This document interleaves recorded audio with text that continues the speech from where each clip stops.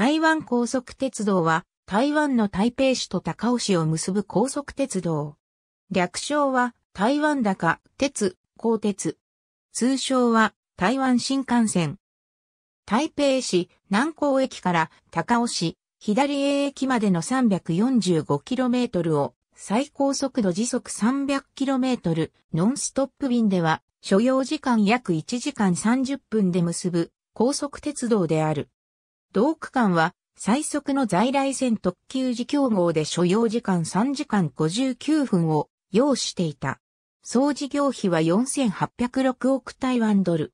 日本として新幹線の車両技術を輸出、現地導入した初めての事例である。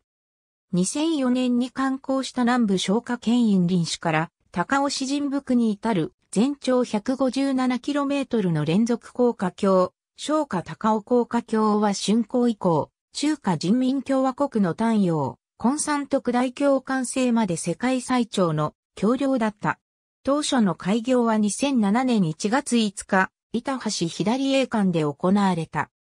元々の開業予定は2005年10月であったが、起電工程をめぐる欧州理事の介入、韓国ゼネコンの手抜き工事の露見日曜混合としたシステムの混乱などが、後期の遅れや相次ぐトラブルを招き、2006年10月31日に延期された。その後も最終審査の遅れから12月7日に、さらに直前の11月29日になって安全上の理由により急遽2007年1月へ再三にわたり延期された。鉄道車両は日本の新幹線技術を投入した。日本の新幹線とシステムは一部異なるが、車両が東海道、山陽新幹線の700系改良型の 700T 型である点などから日本の新幹線とほとんど同じに見える。2007年1月5日現地時間7時、板橋駅からそれぞれ一番列車が出発し仮営業運転開始。半額運賃の仮営業運転は当初1月14日までとされたが1月31日まで延長された。同年3月2日には台北駅まで正式に開業した。2011年に中華人民共和国で発生した運州市鉄道衝突脱線事故に際して台湾は日本と同じシステムを採用したのであのような事故はありえないと発表しており新幹線の技術を採用したことの意義を強調した。2016年7月1日には台北駅から南港駅まで約 10km 延伸開業した。決められた開業予定に合わせるため車両方式決定に先立ち、土木構造物などを先行して着手した。また口述の経緯により当初は欧州システムを基準に進められたため、分岐器はドイツ製、列車無線はフランス製、車両などは日本製という日用混在システムである。新幹線との際は、なお営業形態の違いとしてボット方式を採用していることが挙げられる。すなわち、民間事業者が自ら資金を調達して、施設を建設し、一定期間管理、運営を行い資金を回収した後、将来的には公共に施設を移管する計画である。日本と同様に国家的事業ながら、資金調達の方法や運営の流れが異なる。契約獲得にあたってフランス・ドイツによる欧州連合と組む台湾鋼鉄連盟と日本連合と組む中華鋼鉄連盟とが競合した。プッシュプル方式を提示した欧州連合の方がコストが安価であったこと、台湾がフランスとのつながりを維持する必要があったことなどから台湾鋼鉄連盟は契約を獲得した。対中関係を重視するクリントン政権下のアメリカから戦闘機などが購入できなかったため、代わりにフランスから購入する必要があったためである。機動と機関車はドイツ製、客車はフランス製で設計が進められていた。しかし、アメリカが F-16 戦闘機の売却に同意したこと、アイスが死者約101名、負傷者約80名という脱線事故を起こしたこと、1999年9月21日に台湾大地震が発生したが、欧州方式は地震に対する防御策が十分ではなかったことなどから、日本側が盛り返し始める。最終的に台湾政府は台湾鋼鉄の協力先を早期地震検知警報装置を導入していた日本連合に切り替えることに決定した。最終的に車両は日本、配電、制御は欧州、土木工事は国際入札を行うことに決まった。このため欧州連合は台湾鋼鉄に違約金を請求した。事態が紛糾したのは欧州と日本を押すグループがそれぞれ政治家と結びついた結果、清掃が鉄道の場に持ち込まれたのが一因とされる。台湾では鉄道建設は政治と強く結びついており、技術力の優劣だけでは契約できない事情がある。以上の経緯にもかかわらず、欧州連合のコンサルティング契約、及び欧州連合が作成した使用書はそのままであった。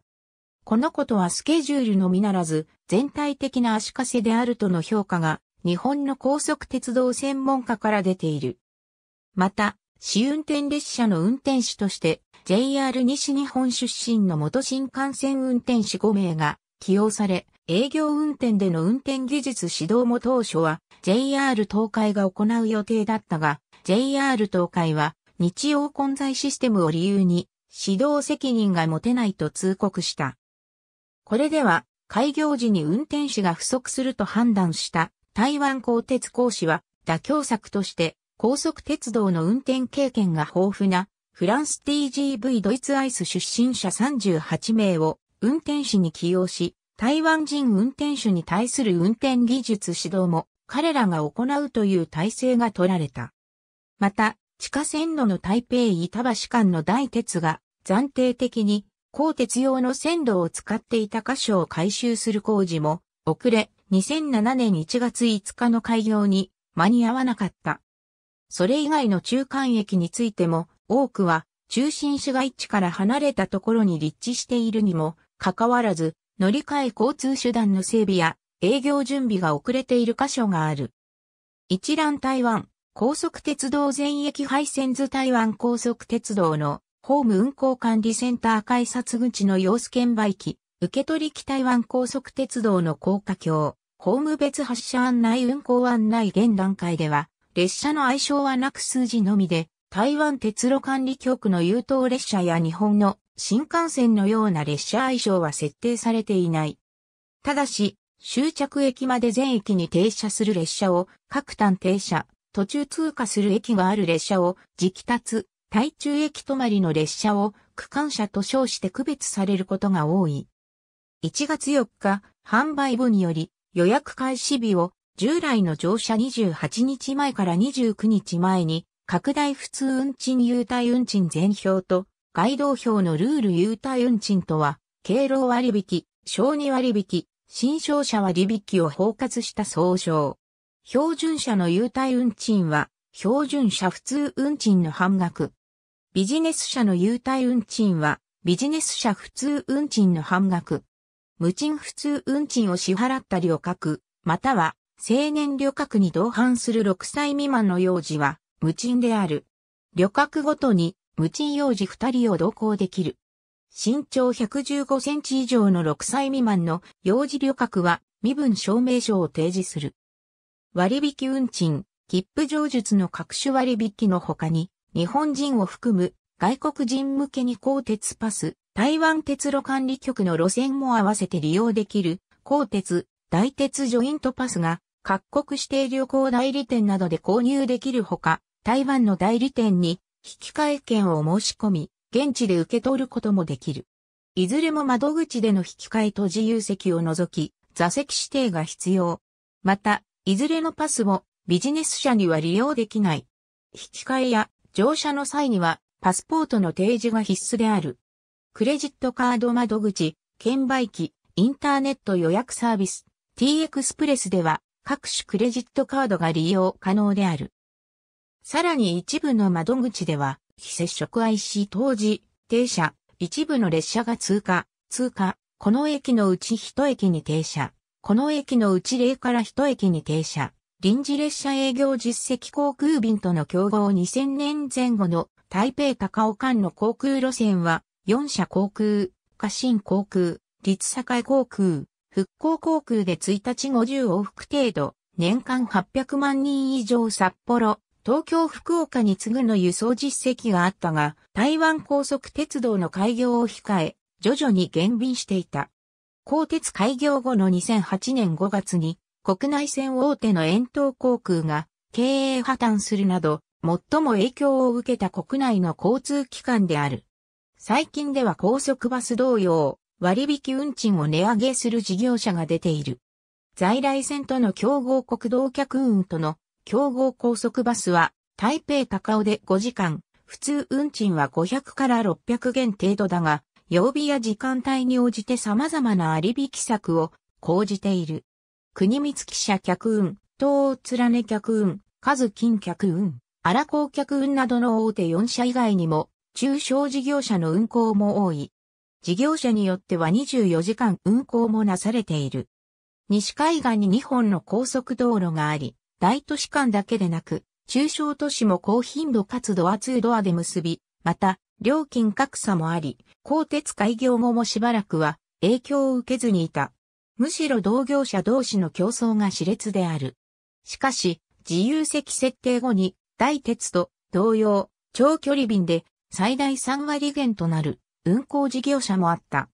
また、ここ最近の原油港にもかかわらず、一部では、台北、大中が100元台、台北大南が200元台、台北高尾が300元台を打ち出すなど、価格破壊が熾烈を極めている。ウリン駅開業後、同県内を拠点とする非当客運は長距離、利用客が急減し、一部停留所を閉鎖した。